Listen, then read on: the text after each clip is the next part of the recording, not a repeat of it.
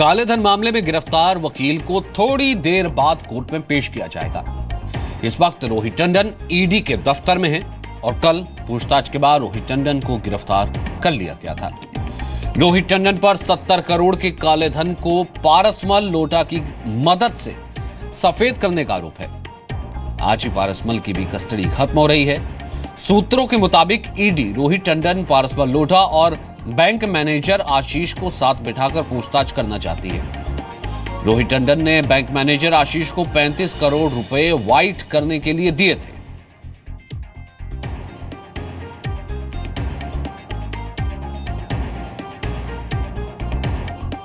काले धन को सफ़ेद करने के काले कारोबार में अब प्रवर्तन निदेशालय ने रोहित टंडन को गिरफ़्तार किया है। रोहित टंडन वो शख्स है जो कि जीके में उसका ऑफ़िस है और थोड़े दिनों पहले क्राइम ब्रांच की टीम ने उसके लॉ फॉर्म पे जाकर के छापेमारी की थी, जिसमें साढ़े तेरह करोड़ से ज़्यादा की रकम मिली थी, जिसमें दो करोड़ बासठ लाख रुपए, दो हज़ार रुपए के नए नोट भी बरामद हुए थे। और फिर उसके बाद में उसमें एक पारसमल लोडा, जो कि कोलकाता का एक बड़ा बिजनेसमैन है, उसका नाम सामने आया था, जिसने इस पूरे ब्लैक मनी को वाइट किया था और फिर उसके बाद में ईडी की टीम ने पारस मल्लोडा को गिरफ़्तार किया और उससे पूछताछ की। तो पूरा एक रैकेट सामने आया और उसके बाद में अब जो कि ईडी की टीम है, उसने रोहित टंडन, जो कि वकील है पेशे से, उसको भी गिरफ़्तार किया है और इससे पहले ईडी की टीम ने कोटक महिंद्रा बैंक का मैनेजर है आशीष, उसे गिरफ़्तार किया था।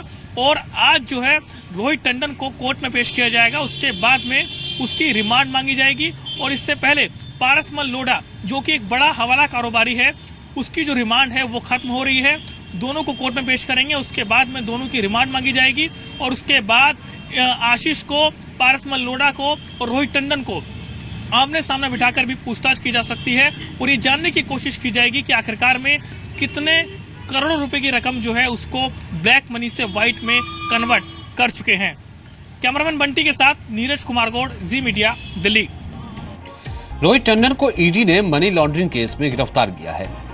इससे पहले दिल्ली में केजी मार्ग पर कोटक महिंद्रा बैंक के मैनेजर आशीष को भी गिरफ़्तार किया गया है। आशीष ने रोहित टंडन के 38 करोड़ को ब्लैक से व्हाइट किया था। आशीष को इसके लिए 35 फ़ीसदी कमीशन मिलना था। रोहित टंडन के फर्म से मिले 13 करोड़ पारसमन लोडा के थे। शेखर रेड्डी के छह करोड़ बदलवाने में लोडा का साथ और पूरे हवाला नेटवर्क का सरगना है पारसमल लोडा सूत्रों के मुताबिक पूछताछ में रोहित टंडन ने यह बात कबूल की है कि उसने आशीष को इक्यावन करोड़ दिए थे और नोट बदलने के बदले कमीशन भी दिया। रोहित टंडन ने यह भी बताया कि नोट बदलने के लिए आशीष उसके फार्म हाउस भी गया था। ईडी ने रोहित टंडन के मोबाइल से कई लोगों से बातचीत का ब्यौरा भी बरामद किया है, जिसके बाद कई बड़े नामों के खुलासे हो सकते हैं। आपको बताते कि कैसे रोहित टंडन ने बैंक मैनेजर आशीष की मदद से करोड़ों का कैश वाइट करवाने की कोशिश की। रोहित टंडन ने इक्यावन करोड़ रुपए ब्रांच मैनेजर आशीष को दिए। दिल्ली के केजी मार्ग में कोटक महिंद्रा बैंक का ब्रांच मैनेजर था आशीष। आशीष ने फर्जी नाम से 38 करोड़ के डिमांड ड्राफ्ट बनाए। 38 करोड़ के डीडी के बदले आशीष को 13 करोड़ का कमीशन मिलना था। 30 दिसंबर के बाद आशीष इन डिमांड ड्राफ्ट को कैंसिल करवाने वाला था। ड्राफ्ट कैंसिल करवाने से 38 करोड़ का कालाधन बैंक में जमा हो जाता और यह कालाधन आसानी से वाइट हो जाता। लेकिन इससे इससे पहले कि फर्जीवाड़ा होता, इस फर्जीवाड़े का पर्दाफाश हो गया। जाँच के बाद इनकम टैक्स ने 38 करोड़ के डिमांड ड्राफ्ट को रद्द कर दिया।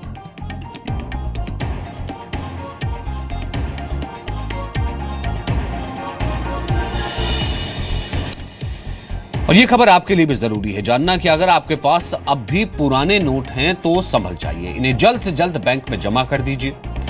अगर आपने इकतीस मार्च तक भी नोट जमा नहीं किए तो आपको भारी जुर्माना देना पड़ सकता है या फिर जेल भी जाना पड़ सकता है। पुराने नोट रखने वालों को सजा देने वाले अध्यादेश को कैबिनेट ने मंजूरी दे दी है।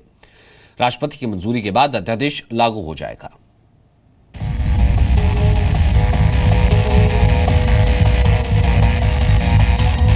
कहने को नहीं कह रहा हूँ, दोस्तों, बड़े जिगर के साथ लड़ाई को छेड़ा। कि वो घर से निकला है ना?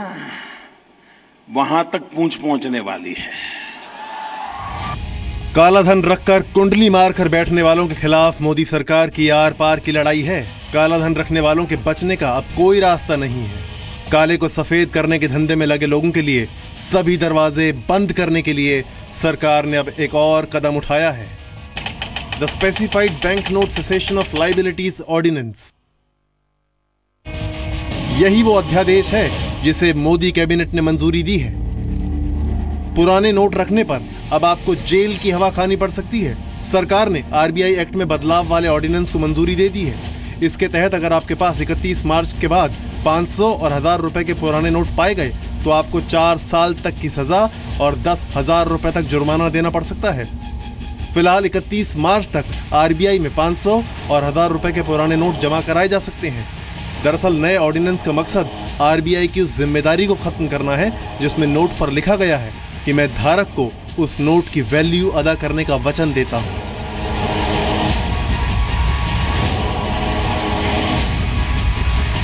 गृह मंत्री राजनाथ सिंह ने कहा कि अध्यादेश लाने का फैसला देश हित में लिया गया है, लेकिन विपक्ष ने अध्यादेश लाने पर सरकार को घेरा है government does not want to be answerable.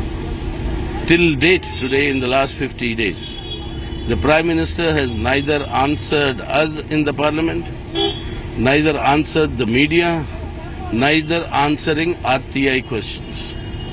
The Prime Minister is completely unanswerable today, and that is why this ordinance route has been adopted. type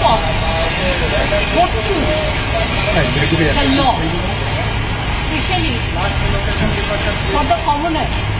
I think common people should not suffer. 30 दिसंबर के बाद 500 और 1000 के पुराने note जमा करने के लिए कठोर शर्तों को पूरा करना होगा 30 दिसंबर के बाद पुराने नोट जमा करने से पहले ये बताना होगा कि आखिर अब तक नोट क्यों नहीं जमा किए गए अगर आप खुद रिज़र्व बैंक नहीं पहुँच सकते तो डाक के ज़रिए पुराने नोट और साथ में घोषणा पत्र भेज सकते हैं घोषणा पत्र में ये बताना होगा कि आप खुद क्यों नहीं आए और अब तक नोट क्यों नहीं जमा किए? रिज़र्व बैंक आपकी दलीलों से सहमत नहीं हुआ तो पुराने नोटों को नकारा भी जा सकता है। 1978 में मोरारजी देसाई की जनता पार्टी सरकार ने 1000, 5000 और 10000 का नोट बंद करने के बाद सरकार की देनदारी को खत्म करने के लिए इसी तरह का अध्यादेश लाया गया था।